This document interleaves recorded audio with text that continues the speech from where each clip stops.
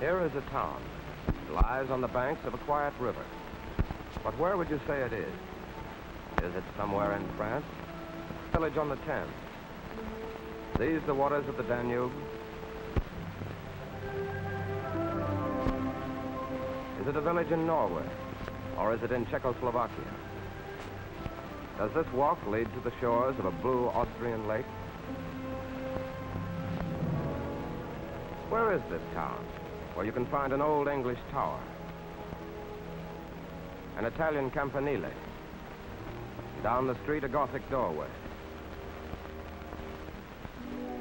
where slate roofs look down on the columns of ancient Greece, and where you'll find a Renaissance fountain at one end of town, and at the other a Roman temple.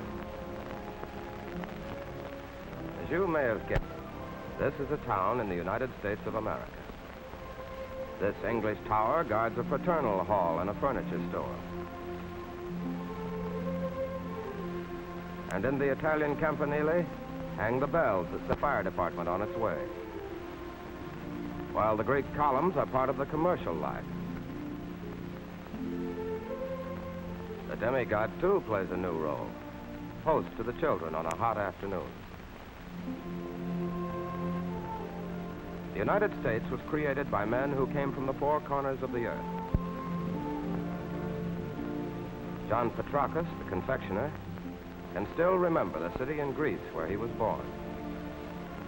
Johnny McGuire works on the newspaper. His grandfather came from Ireland. The Dutch have been here since the 17th century. Mr. Geyer, a descendant, is county agent for the farmers. Mr. Wunderlich arrived from Germany more than half a century ago. But his friend, Mrs. Antel, was born here and hasn't left the place in all her 82 years. Young Datilo's been here all his life, too. But he shares his taste for Italian food with the rest of the family. The name of their town is Madison. It lies on the Ohio River in the midwestern state of Indiana. It was named after James Madison, fourth President of the United States, who is known as the father of the American Constitution.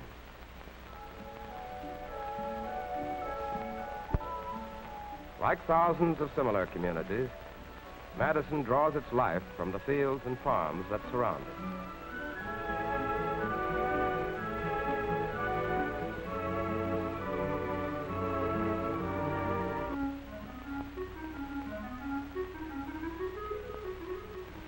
On Saturday morning, the farmer's wife brings the eggs from the hen house.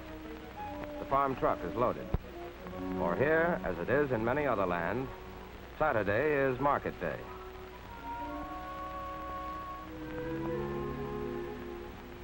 Round the courthouse, they've been holding an open market every Saturday for the past hundred years. This farmer, Mr. Frider, stands by a scale as his forefathers stood in a market square in Central Europe. In Madison, buying a bag of tomatoes still remains a highly personal affair. Main Street, the heart of every American. It was laid out in the days of the colored wagon as part of a highway which runs from the Atlantic to the Pacific. There is plenty of room here. Room for the individual to expand, to plan for himself and his children. Room for initiative and enterprise.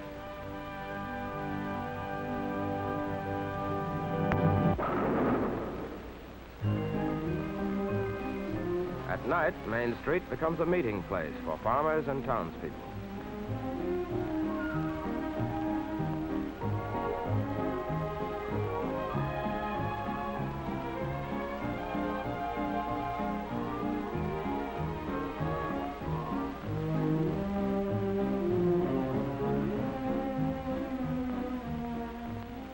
The most popular place in every American town is the corner drugstore. It's the American equivalent of a pub or cafe or rathskeller. And, of course, on Saturday night, the school orchestra gives its concert.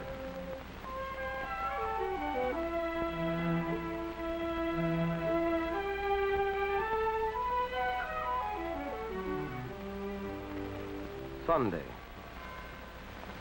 the day for worship.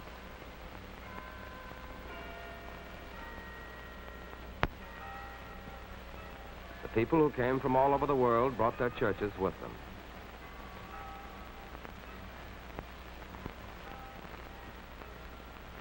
All faiths have found a place here. No one interferes with the other's journey to heaven or to hell. Now, here's a fellow who thinks he's not going to one destination or the other. He's going fishing. And though his boy prefers church this Sunday morning, there's little time wasted in argument.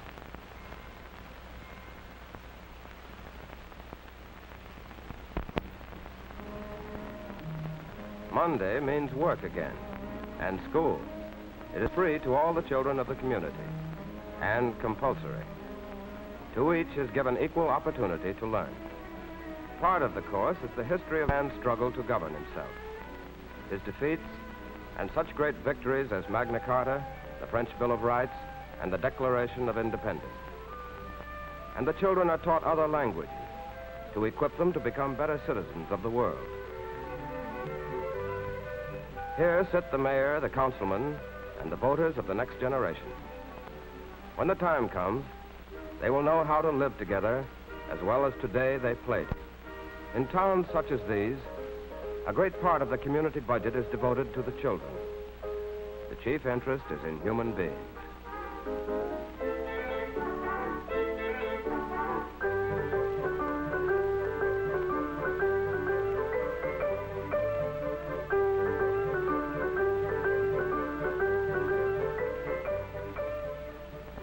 Games children play may not be the same in different parts of the world, but the spirit of childhood is universal and unchanging.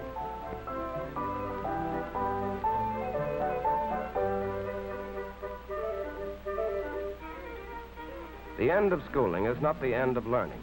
Knowledge of the ages is available to all.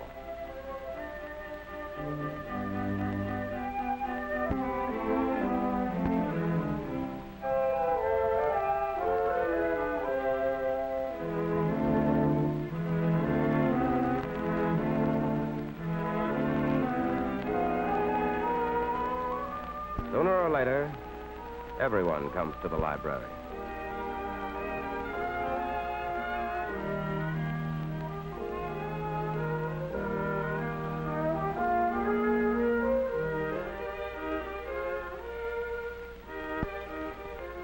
Here can be found old ideas and argued about paper for over a century. Today it disagrees on many domestic issues with the current administration in Washington and speaks its mind. A reader writes in to attack the paper's policy, and that's printed too. The presses roll. And this respect for the other man's point of view is reflected in the way the town governs itself. This is the mayor. The people hire him and the people fire him. He's their servant and he's proud of that honor. And if there's trouble, it's settled at a public trial in the sight and presence of the people. His Majesty, common man. It is he who elects the judge. It is he who elects the public prosecutor. The laws of trial by jury, as they originated in England, are carried out in this court. These 12 men and women, peers of the defendant, were called from their everyday interests to serve. They accept this as one of the obligations of self-government.